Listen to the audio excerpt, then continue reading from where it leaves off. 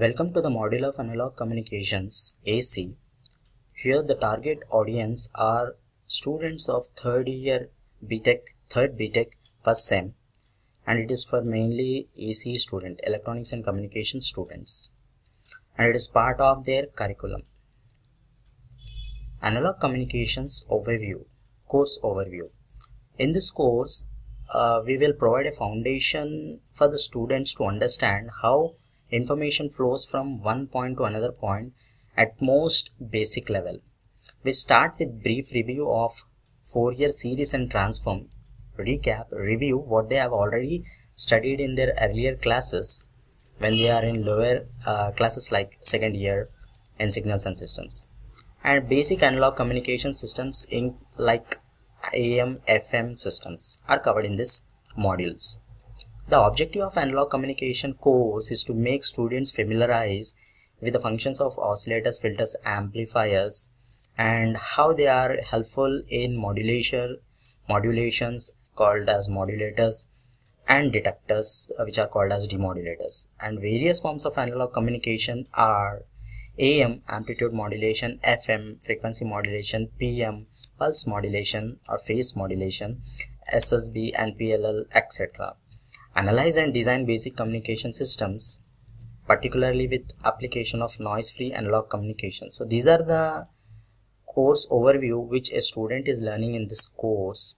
Once he uh, finishes this course, he will learn all this type, all these uh, parameters course objectives so once uh, a student completes this course he must be able to understand what is the mathematical understanding of communication systems how to make a mathematical model how to analyze and design basic communication systems particularly with the application of noise free analog communications and how to compare and contrast strengths and weaknesses of various communication systems techniques for constructing mathematical proofs that is the derivations uh, in understanding AM and FMs the student will know and will able to use this mathematical induction to establish other re recurrence relations. The student will know basic concepts algorithms and problems which are associated with this course. Right.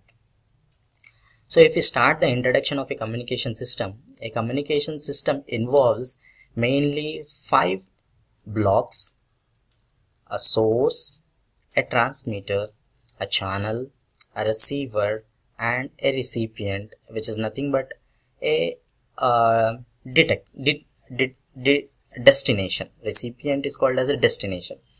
So information is created from the source and it is transmitted through transmitter with a transmitting antenna and this channel could be a wired or wireless. In case of wired it could be a two cable two wire cable a coaxial cable optical cable. In case of wireless it may be a free space. Then receiver does the exact op operation what a transmitter does and the output of receiver is given to the destination. So these are the minimum bu building blocks of a communication system to transmit information from source to receiver. So in order to transmit these uh, signals, we go for different different modulation techniques like AM, amplitude modulation, FM, pulse modulation, PM, phase modulation, FM, sorry, FM here, FM is frequency modulation, PM, phase modulation and pulse modulation.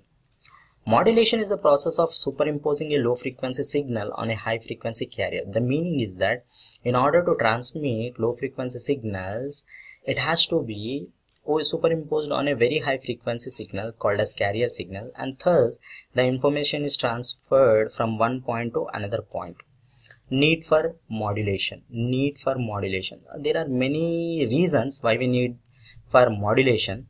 One of such uh, modulation one of the need for such modulation is in order to decrease the height of transmitter. In the same way in order to increase uh, or in order to uh, make the uh, different signals uh, interfer interfering from each other and in order to make uh, use of spectrum efficiently. Types of modulations. In types of modulations we'll be seeing there are different types of modulations like uh, linear modulation which we call it as amplitude modulation. In linear modulation amplitude modulation again we have dsb sca mssb vsb depending upon the different different modulation requirements. Then frequency modulation. Frequency modulation is mainly for changing the frequency so here we'll be saying modulation is nothing but changing one of the parameter of a carrier with respect to the parameter of the low frequency signal message signal